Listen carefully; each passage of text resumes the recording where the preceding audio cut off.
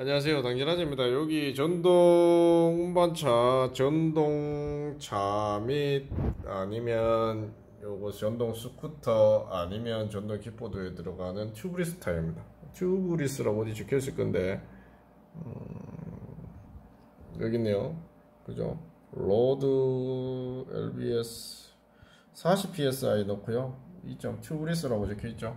다음 13에 어, 5.0에 6이라고 아, 적혀 있고요. CST입니다. 나름 CST고요. 어, 일단 tread들은 이렇게 울쭉울쭉울쭉하게 이렇게 내놨습니다만 완전히 로버트 같은 그런 막 멋진 tread는 아닌 것 같고 그냥 일반 타이어 tread입니다.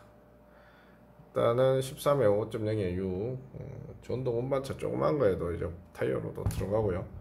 어, 킥보드 쪽에도 들어가고 스쿠터 쪽에도 이렇게 한 번씩 들어갑니다. tubeless기 때문에 튜브는 안 들어가고요. 어, 그렇죠. 흰색 집 이렇게 있고 어, 코드 넘버 이렇게 있고 지전 넘버 있고 이렇게 있습니다.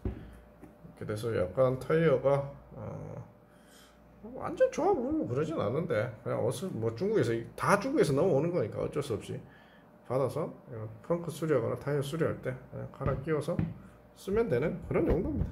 어, 중요하게 생각하지 않으면 됩니다. 어차피 뭐 생산하는 quality가 어, 국내에 없기 때문에 어, 전 세계적으로 중국에서만 나오기 때문에 어, 그렇습니다.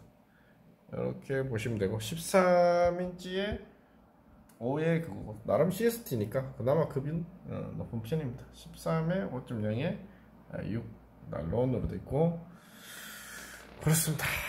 이렇게 돼 있고 어, 좀 계략 어, 타이어 크기가 가늠이 안 가서 아, 헷갈리시는 분들이 있어가지고 어, 줄자를 찍어 드리는데 한 20에 30cm 정도 되고요. 이렇게 했을 때 폭을 한번 볼게요. 폭을 폭을 한번 폭은 아유 폭은 대충 한 12 정도 10 정도에서 어, 대충 적었습니다. 한 10 정도 나옵니다. 10 정도 조금 넘게 이렇게 나옵니다.